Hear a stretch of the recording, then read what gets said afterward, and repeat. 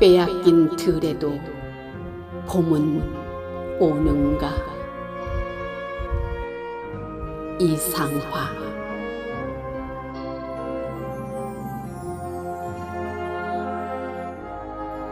지금은 남의 땅. 빼앗긴 들에도 봄은 오는가?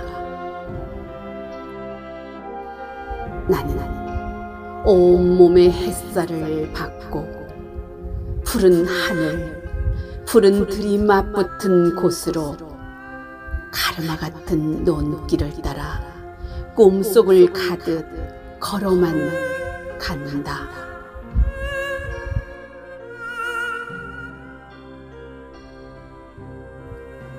입술을 담은 하늘아, 들아. 내 맘에는 내 혼자 온 것 같지를 않구나. 내가 끌었느냐? 누가 부르더냐?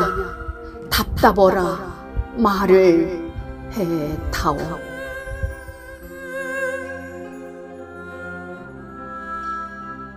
바람은 내 귀에 속삭이며 한 자옥도 섰지 마라 옷자락을 흔들고 종다리는 울타리 넘어 아씨같이 구름 뒤에서 반갑다 웃네.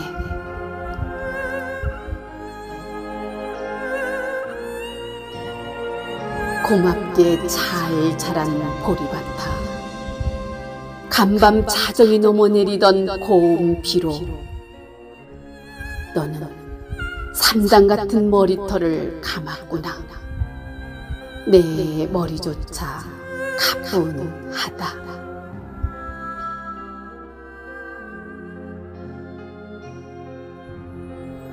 혼자라도 가쁘게나 가자. 마른 눈을 안고 도는 착한 도랑이 젖먹이 달래는 노래를 하고 제 혼자 어깨줄만 추고 가네.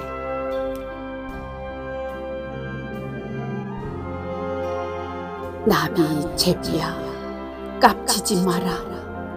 맨드라미 들막꽃에도 인사를 해야지. 아주까리 기름을 바른 니가 지심 매던 그 들이라 다 보고 싶다.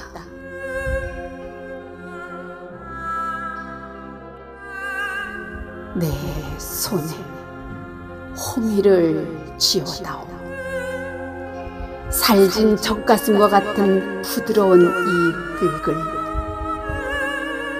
발목이 시도록 밟아도 보고 좋은 땀조차 흘리고 싶다.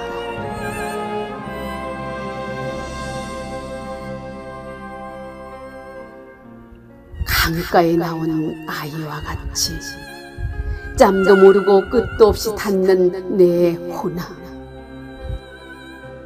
무엇을 찾느냐, 어디로 가느냐, 무서웠다.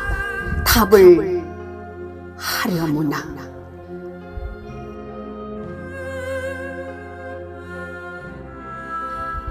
나는 온몸에 분내를 띠고 푸른 웃음, 푸른 서름이 어우러진 사이로 다리를 절며 하루를 걷는다.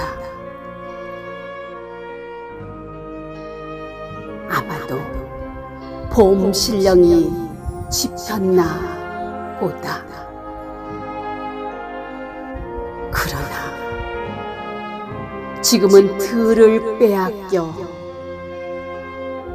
봄조차 빼앗기겠네.